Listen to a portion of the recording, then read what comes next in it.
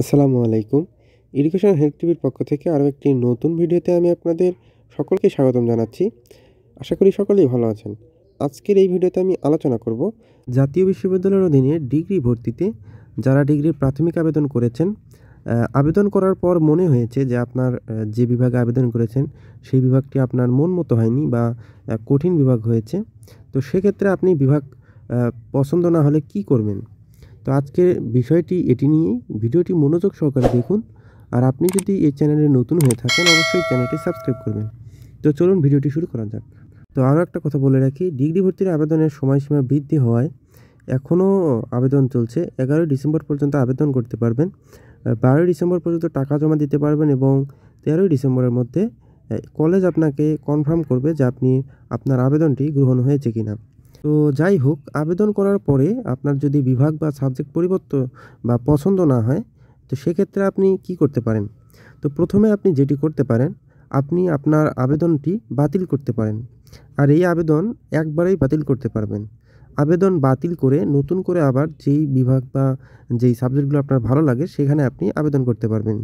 তো এটি আপনি মোবাইল দিয়েও করতে পারবেন, অনেক সমস্যার সম্মুখীন হতে হবে।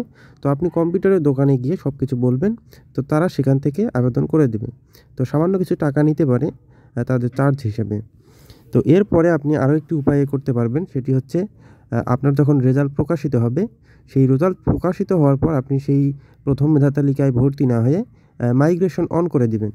তো মাইগ্রেশন অন করে দেওয়ার পর আপনার যে সাবজেক্টটি রয়েছে সেটি পরিবর্তন হয়ে বা বিভাগটি পরিবর্তন হয়ে অন্য বিভাগে চলে আসবে। তো সেক্ষেত্রেও আপনি করতে পারেন। এরপর দ্বিতীয় মেধা তালিকাও আপনার রেজাল্ট যদি চলে আসে আপনি চান্স পান, সেক্ষেত্রেও আপনি মাইগ্রেশন করতে পারবেন। তো যদি তবুও আপনার মন মতো সাবজেক্টটি না আসে, তো সেক্ষেত্রে আপনি ভর্তি হবেন না। ভর্তি না হয়ে রিলিজ স্লিপের জন্য অপেক্ষা করবেন। তো দ্বিতীয় মেধা তালিকা প্রথম মেধা তালিকা এগুলো ভর্তি সম্পন্ন হয়ে গেলে তারপর রিলিজ স্লিপের কার্যক্রম শুরু হবে।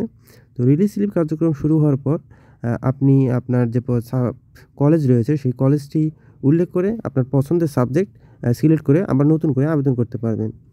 তো কয়েকটি নিয়মে আপনি সাবজেক্ট পছন্দ না হলে এই নিয়মগুলো দিয়ে আপনি আবার নতুন করে ভালোভাবে যেগুলো আপনার পছন্দ হয় সেগুলোতে আবেদন করতে পারবেন। তো অবশ্যই বিষয়টা বুঝতে পেরেছেন। তো কোনো কিছু সমস্যা হলে অবশ্যই কমেন্টে জানাবেন এবং আপনি যদি আমার এই চ্যানেলে নতুন হয়ে থাকেন, অবশ্যই চ্যানেলটি সাবস্ক্রাইব করবেন।